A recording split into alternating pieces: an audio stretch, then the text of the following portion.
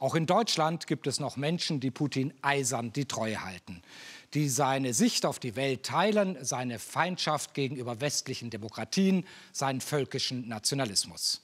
Besonders häufig zu finden am äußersten rechten Rand des politischen Spektrums, besonders aktiv im Netz, aber auch auf der Straße, wo sie sonst gegen Flüchtlinge oder eine angebliche Corona-Diktatur protestieren. Mit Russlandflaggen in der Hand. Julia Regis und Lara Stratmann. Eine Flut von Bildern und Videos. Der Krieg tobt auch im Netz. Russlands Staatsmedien verbreiten Falschinformationen und Propaganda, auch in Deutschland. Anstelle von Krieg ist hier nur von einer sogenannten Militäroperation die Rede, die angeblich einen globalen Krieg verhindern soll, ganz im Wortlaut des Kremls. Tag 6 der Militäroperation. Es besteht keine Gefahr für die Zivilbevölkerung. Die Pressesprecherin des russischen Außenministeriums betonte, dass das, was gerade passiert, nicht der Anfang eines Krieges sei, sondern im Gegensatz, ähm, es soll einen globalen Krieg verhindern, verhindern, verhindern.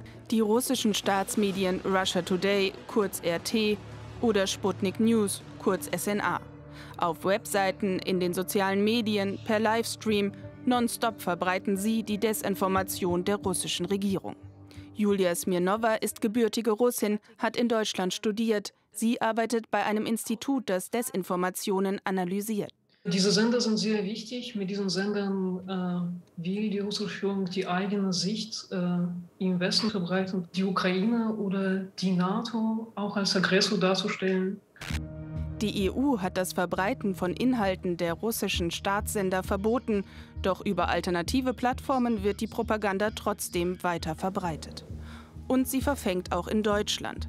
Artikel und Videos werden in den sozialen Medien tausendfach geteilt. Der deutsche Ableger von Russia Today ist in der Verschwörerszene und in rechten Gruppen beim Messenger-Dienst Telegram eine der Hauptquellen. Smirnova und ihr Team haben hunderte solcher Kanäle untersucht. In Bezug auf den Russland-Ukraine-Konflikt ist Russia Today Deutsch im Zeitraum von November 2021 bis wenige Tage nach Kriegsbeginn dort das meistgeteilte Nachrichtenmedium. Kein Zufall, denn seit Jahren bedienen die Sender gezielt polarisierende Themen, zuletzt vor allem Desinformation über die Corona-Pandemie und jetzt auch über Putins Angriffskrieg auf die Ukraine. Und die russische Propaganda bleibt nicht nur im Netz. Wolgast in Mecklenburg-Vorpommern, zwei Tage vor der russischen Invasion. Auf einer Corona-Demonstration wird Wladimir Putin lautstark die Ehre erwiesen. Und ich grüße hiermit unseren Freund Wladimir Putin. Vergangenes Wochenende in Niedersachsen. Der Überfall auf die Ukraine wird hier als vermeintliche Notwehr Putins gerechtfertigt. Kreml-Propaganda von einem prominenten Gesicht der Querdenkerszene, Bodo Schiffmann. Hier muss man tatsächlich den Notwehrparagraphen heranziehen. Hier hat ein Führer eines Landes einen Befreiungsschlag ausgeführt Verharmlosung eines brutalen Angriffskrieges. Und Demonstranten schwenken dazu die russische Fahne. Passt sehr gut in ihr Weltbild. Zum einen denken sie ja, dass die normalen Medien ähm, alle gleichgeschaltet wären für eine geheime Elite. Und diese Elite sagt jetzt, ähm, Russland wäre böse. Also es ist so ein sehr instinktives, ja, dann glauben wir das Gegenteil. Zum anderen sehen sie äh, in Putin einen Widerstand gegen diesen verweichlichten, durchsetzten Westen und hoffen sich hier einen Widerstandskämpfer, der sie befreit. Putin als Befreier. Diese Vorstellung wird auch von rechtsextremen Medien befeuert, etwa von dem vom Verfassungsschutz beobachteten Kompaktmagazin. Das einflussreiche Sprachrohr der Szene titelte am Wochenende Weltkrieg gegen Putin. Der Chefredakteur des Magazins Jürgen Elsässer behauptet auch nach dem russischen Angriff, Russland ist nicht der Aggressor.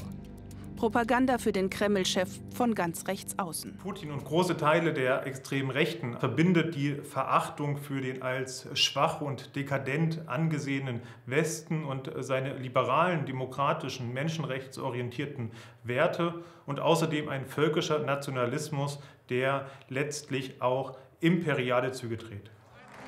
Und beim parlamentarischen Arm der extremen Rechten Sondersitzung des Bundestages, Begrüßung des ukrainischen Botschafters Andrei Melnik, Alle Fraktionen stehen auf und applaudieren. Nur die Abgeordneten der AfD bleiben sitzen und verweigern die Solidaritätsbekundung. Die Spitze der Partei verurteilt zwar den Angriff auf die Ukraine, doch aus der zweiten Reihe kommt jede Menge Bewunderung und Verständnis für den russischen Machthaber Putin, selbst nach dem Angriff auf die Ukraine. Jörg Dornau, AfD-Abgeordneter in Sachsen, macht sich am Morgen des Kriegsbeginns eine Äußerung Trumps zu eigen und meint, Trump nennt Putins Vorgehen genial. Hans-Thomas Tillschneider, AfD-Abgeordneter in Sachsen-Anhalt, bestritt sogar, dass es sich um einen Angriff Russlands handelt. Er schrieb, Russland wehrt sich. Mittlerweile ist der Tweet gelöscht. Ein völkerrechtswidriger Angriff von deutschen AfD-Politikern verharmlost und gerechtfertigt. Große Teile der extremen Rechten in Deutschland kämpfen denselben Krieg wie Putin mit Worten, mit Informationen, den Krieg gegen die Demokratie und damit unterstützen und helfen sie den Interessen Putins. Während in der Ukraine Menschen sterben, stellen sich Teile der rechten Szene stramm an Putins Seite. Im Netz, in den Parlamenten und auf der Straße. Angeblich war es Lenin, der für solche Menschen eine treffende Bezeichnung gefunden hat, nützliche Idioten.